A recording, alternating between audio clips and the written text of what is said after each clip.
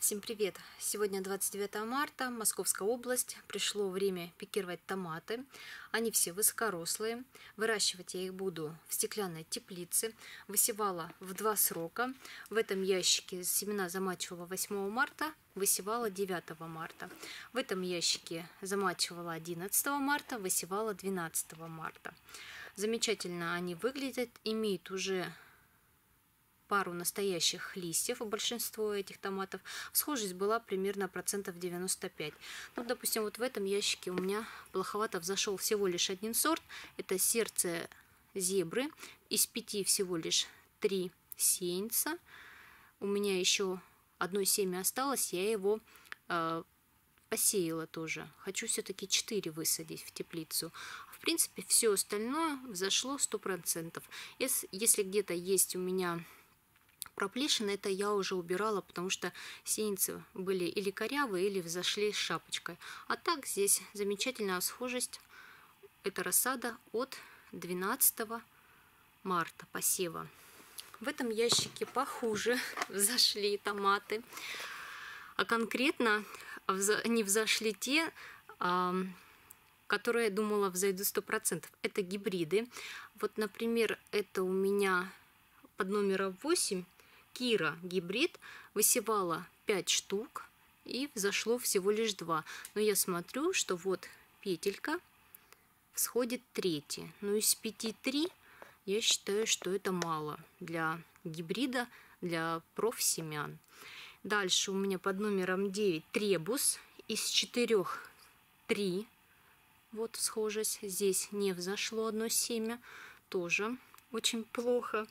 И десятый номер немецкое сердце. Высевала вообще 7 штук, зашло 2. Тоже досеяла. Было пару семян у меня там досеяла. Остальные все у меня здесь 100% зашли. Схоже, здесь хорошие. Здесь есть мои семена, они вообще 100% зашли. Вот, так, ну что я сегодня буду делать? Я сегодня буду их пикировать. Я могла бы это сделать и чуть попозже, но времени нет.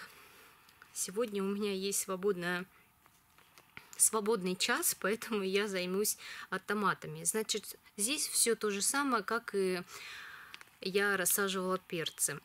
Пакеты рассадные забила почва смесью. Почва смесь это моя, я ее готовлю с осени. Пакет рассадный. 0,9 литровые. Конечно, бирка приклеила, чтобы написать номер сорт, чтобы не потерять, потому что у меня много новинок.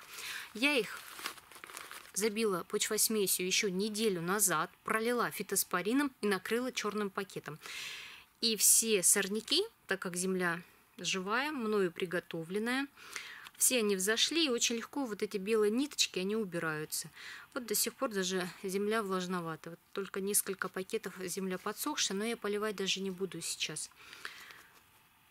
Сильно землю я не заливаю, когда рассаживаю, пикирую растения, чтобы не было здесь грязи. Это уже можно в открытом грунте или в теплице растения сажать в грязь. А вот когда уже только а, в емкостях таких, лучше растения не заливать, дабы избежать гнили и черной ножки. Сейчас буду рассаживать, покажу пару примеров ящика 12 марта. Ну, здесь техника все то же самое, как и перцы, как и баклажаны. У меня особо нового ничего нет. Так, это у меня номер 19. Беру сеянец ложкой, вот таким образом. Не буду сильно землю оббивать, но есть корешки. Замечательный сеянец. Смотрите, два хороших настоящих листа. Рассада не вытянутая. Они такие на аккуратные ножки потому что сорта высокорослые. Под номером 19 я сейчас скажу. Это у меня Пазана. Пазана гибрид. Это гибрид. Это такие сливовидные томатики. Это я их специально для консервации высаживаю. Попробовать решил этот гибрид. И засыпаю по самой семидольке. Вот таким образом. Все аккуратненько. Как и перцы, я сначала рассаду высаживаю, допустим, один гибрид или один сорт, а потом уже подписываю. Мне так удобно делать. Я не поливаю сразу. Посадочную ямку не, не, не заливаю водой. Я потом поливаю, когда уже рассажу. Вот пазана у меня 4 штуки. Мне этого будет достаточно для консервации, потому что это гибрид. Как производитель написал, он очень урожайный, стрессоустойчивый, как, собственно говоря, многие гибриды. И вот последний, четвертый.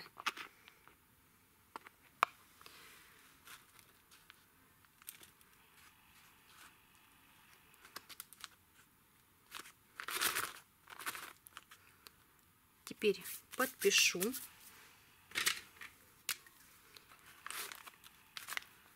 Девятнадцать. Я просто ставлю номер. Мне так удобно. В теплице уже кроме номера я еще и подписываю сорт или гибрид, чтобы мне видеть, как развивается гибрид, потому что в конце сезона или сорт, и в конце сезона я делаю обязательно обзор. И чтобы мне легко было ориентироваться и запоминать в теплице, я помимо номера и записываю название. При поливе я использую воду, я растворила в ней гумат калия и слегка вокруг стебля небольшим количеством воды я проливаю. Этого будет достаточно. Самый э, первый серьезный полив у меня будет только через 3-4 дня. А за это время растение приживется, гумат калия. Здесь в бутылке у меня обычная вода. С помощью распылителя увлажню.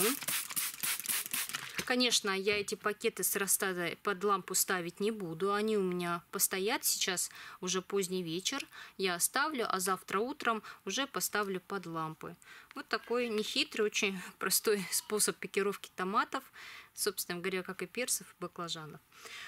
Вот такое короткое видео. У меня на сегодня все. Я буду продолжать работать до самой ночи. А я вам желаю всего самого хорошего. Подписывайтесь на канал и пока.